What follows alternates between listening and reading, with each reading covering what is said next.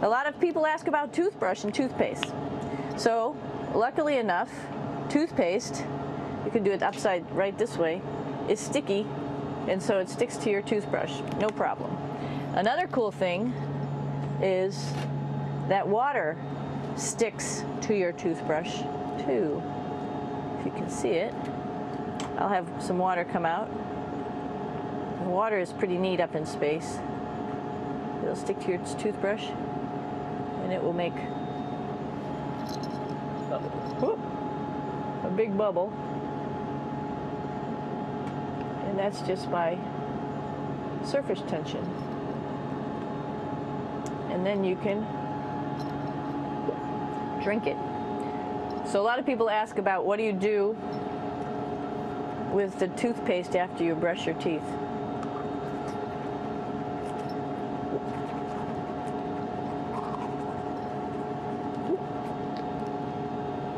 Two options. Swallow it, and it's sort of like mouthwash, but it tastes a little gross. Or you can just spit it out in a paper towel, and then you don't have to worry about it. Swallowing thing I wouldn't recommend at home. I'm only up here for four months, so it's not that bad. One of the most pressing questions about using being living in space, of course, is the bathroom. So let's take a look at that little piece of work. Come on in.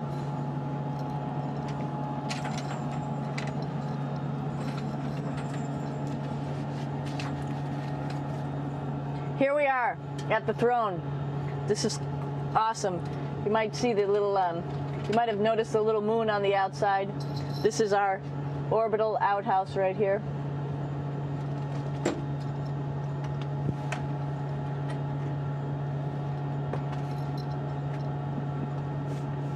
And of course, it serves for two functions. Number two, right here. I'll show you. But you see it's pretty small, so you have to have pretty good aim and you be, be ready to make sure things get let go the right direction. And it smells a little bit, so I'm closing it up. And that's of course for number two. And this guy right here is for number one. So they're sort of two slightly separate functions, but you can do a little, essentially both by hanging on right here and doing number one and number two. I might add it's color coded so you really don't get it mixed up, which is nice. This is yellows for number one. And uh, also there's a selection of paper. People always ask about toilet paper. What do you do with toilet paper? What kind of toilet paper do you have? We have gloves just because sometimes it does get messy. We have some Russian wipes, which are a little bit coarse if you like the coarse type of toilet paper.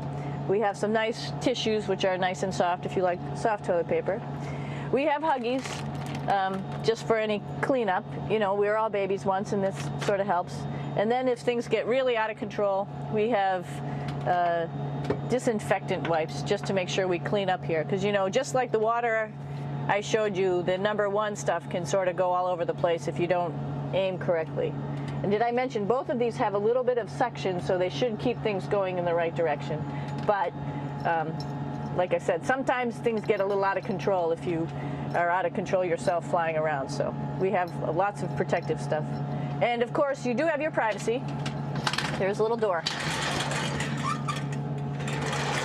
So other people know that you're in there.